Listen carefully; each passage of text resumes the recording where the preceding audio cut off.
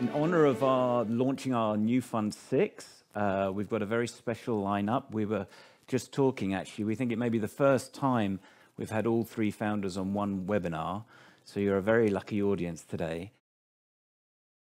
I think the first thing that's important to establish is that the bull market run ended in November. It was a very long 13-year run coming out of the financial crisis, which created, I think, a very lax, very liquid environment, where both really great companies, but maybe also companies that still have a lot to prove, all were highly valued, all seemed successful.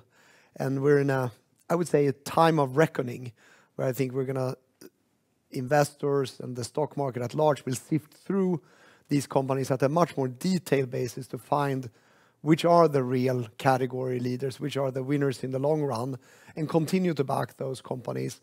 And I think for the others that have maybe lived on hyped PowerPoints, it's gonna be a struggle. Then to answer your question, have we reached the bottom? Well, kind of the the near-term macro clouds would indicate that we have not. You know, the markets have corrected a lot, particularly unprofitable tech have suffered the most, but also big tech have suffered to quite a decent degree. But we then have to break it into two parts, because we see in the B2C market, you know, software, advertising, media to consumers, there's real demand weakness. So the inflation is impacting that, the war is impacting that, the rising energy prices impacting that. It reduces the wallet for the average consumer, which impacts for real. So there, I think we have a long way to go to find that bottom.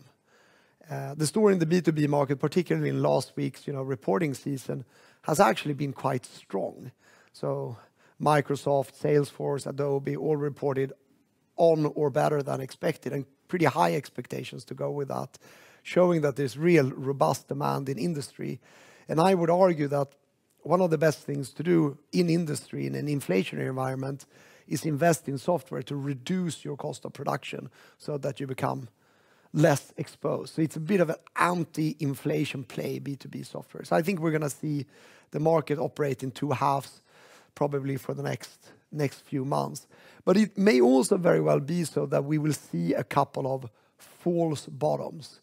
So I I think now is a very good time to be quite conservative conservative as an investor, pull the trigger only with the greatest care, and in companies that are either profitable right now or where their core geography or business is profitable, and the losses you're making are calculated losses rather than making losses to prove that a technology works. I think that what we've discovered since 2000, when we started the business, Ben, is that all tech is not created equal. I mean, when we started out, if you remember, technology, everybody in technology felt the same, even though the underlying business models, the underlying hardware, the software was entirely different. So I think what's really interesting about this latest correction is whether investors are gonna be smart enough to differentiate between a computer games business, an enterprise software business, and a telecoms company. Because in 2000, they certainly weren't. Yeah. In 2008, 9, I would say so-so. Yeah. And time will tell, because there's no doubt now that in some ways, technology is an entirely meaningless phrase. I mean, if mm. you're not a technology business, you're not a business. Yeah. So so really, it's incumbent now, I think, on investors to to truly understand what these businesses do. Because the days of when all technology companies are 10 times revenues or 20 times revenues, I mean, that, that's gone. But another area that I think is very important to talk about right now is the lockdown periods that are still ongoing in parts of Asia has created an enormous supply chain glut. And actually, for the semiconductor industry, in all its part of that value chain, this is a real positive. I mean, we have seen reports out from ASML in Holland, from KLA-Tencor in U.S., TSMC, where, I mean, they are giving upward guidance on their revenue projections for 2023, 2024, and 2025, because all their production is fully sold out. So yes, you know, we see, for instance, media tends to follow a lot the digital media side of tech, right? Companies like, say, Netflix and Spotify and so forth. and that's a bloodbath mm-hmm. because that's where it's very easy to stop using the service. It's not essential. But if semiconductors are not being produced, cars will not run, trains will not run, planes will not fly, washing machines will not wash. So again, coming back to how broad our market is, and I think our what's upon us, and I think the luck we have with the size and breadth of organization we we have is we have people in the firm who really understand various of these areas in absolutely the greatest detail. So that instead of being a tech investor or tech group, we can focus on the areas where there is continued strong demand. And that gives us a way to operate both in bull market and in more bearish environments. So I think a lot of people come to us and say, "How should we react? How do we set up for this?" And I think my advice is always, you never waste a good crisis. There's always opportunity, there's always deals to be done. And what we've seen in the valuations come down in the public markets, the buyout funds will take those companies private. There's there's a screaming opportunity. Some of the valuations have come down so much, and the buyout funds are looking at that. They've been waiting for this because they can finally acquire a fantastic software company that's growing 50% with great retention, low churn, all the dynamics they've been looking for, and very clear visibility on their history. They're now able to acquire that for the first time in many, many years. What we are trying to do is to find the best software product in every category, whether it's in, you know, finding the next, you know, RNA vaccine, or helping people with HR, or entertaining with a computer game. If we at core know the company is developing the best products, it will survive good and bad times. So you have to come back to the fundamentals. I mean, we're in the entrepreneur's game, in the innovation game, and, and that takes a long time. So as long as you have GDP growth plus or 2 or 3%, I mean, the businesses that we're backing over 5 to 10 years should be successful. I mean, this isn't a macro play, this isn't economics, a GDP play. This is a play about finding these superstar software founders and giving them the capital and the support to allow them 5 or 10 years to build a fantastic business. 20 years ago, the strategic framework for what we hoped the group would become, and that's what we call the Entrepreneur's Clock. So this is all about putting the entrepreneur right in the center of everything that we do, and then spending as much time as we can to build financial products and services around those founders. And I think we've now worked with 27 companies that have hit that billion-dollar mark, and then 7 have gone on to hit that $10 billion mark. And we've always been kind of trying to, as a firm and a team, say, "Keep raising the ambition levels." We, we don't need to sell at 100 million initially. Now we can build to a 1 billion, now 10 billion.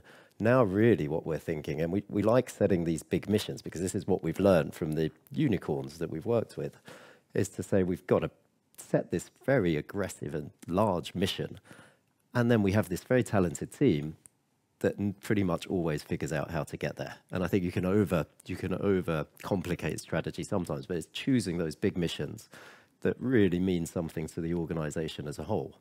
And I think we've selected those in good order.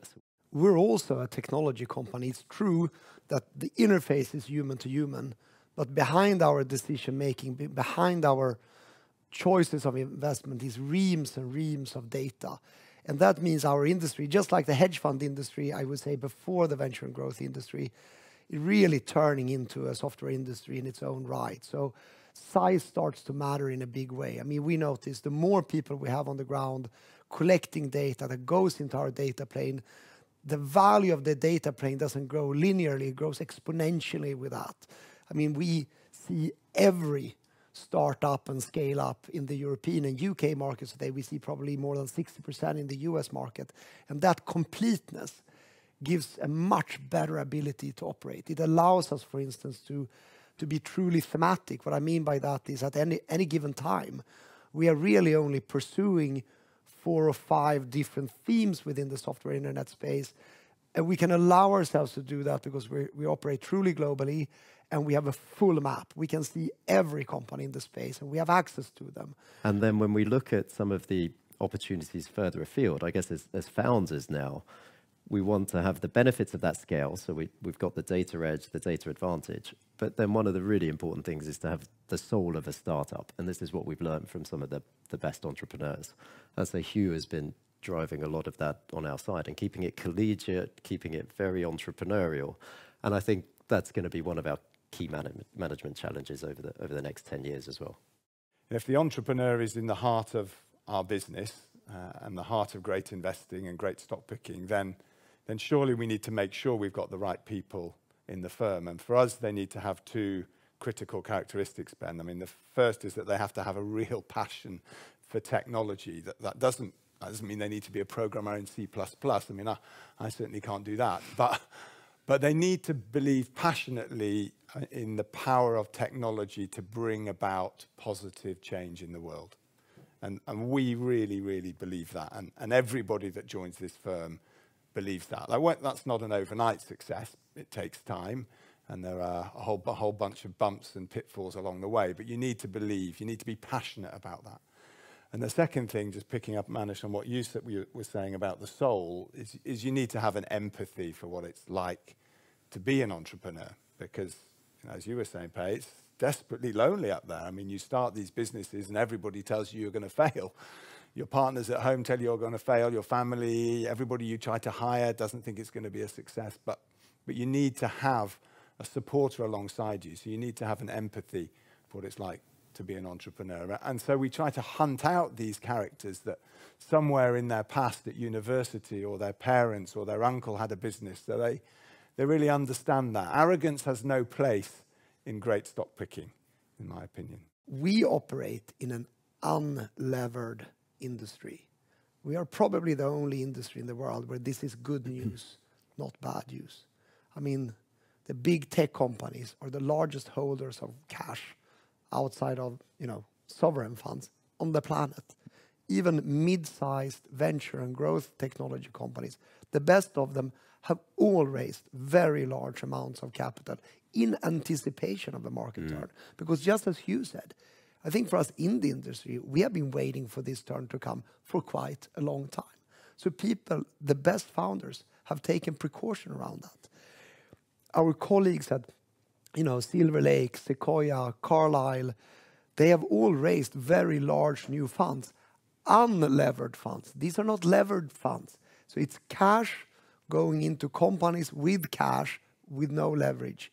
So if anything, you know, the return on this equity goes up when you also start getting interest on the cash you're holding. Yeah.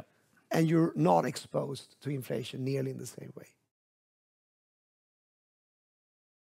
It's very important when one considers investing in our fund is we do not invest in what I define as future technology. So we are not, we are analyzing the metaverse, AR, quant computing, uh, all sorts of things, right?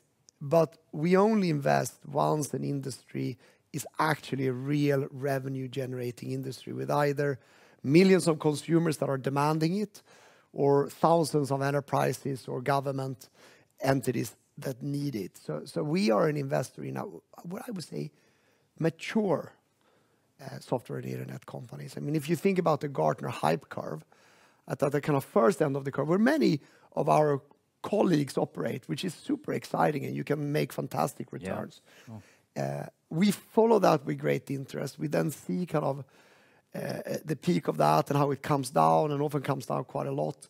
And at that time, we find that it really tests the mettle of the entrepreneurs, uh, and the top 10, 20% survive and come out a lot stronger. And at that point of proven strength, with a proven strong underlying market, we want to enter. That means that we are quite late-stage bias. I mean, these companies are typically rather large, but it's not because we focus on a stage, it's because we focus on that aspect of resilience. We've heard that the best vintages are often created after a crisis, so I think the timing could be really interesting. Um, we're going to have a first close on Fund 6 on June 16th and you know the last fund was heavily oversubscribed so do bear that in mind but we do want you on this journey with us again and i think you can see that we see opportunity in the market right now not necessarily a time to be cautious but uh, that's why we're moving forward